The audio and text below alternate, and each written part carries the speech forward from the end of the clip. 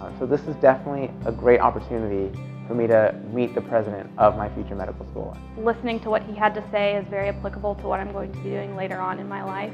If you have somebody that has those qualities, uh, where they're servant-minded, where they're determined, and where they're empathetic, basically for them, the world is their oyster. They can do with things the way they want.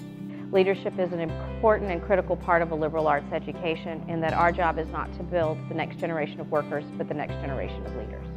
I think that the Posey Institute is one that is desperately needed, not just at places like Austin College, but quite frankly, at universities and colleges all over. Show us what leadership is, not necessarily as in the grand level of being the President of the United States of America, but how leadership in your everyday life can make such a huge impact on the lives of people.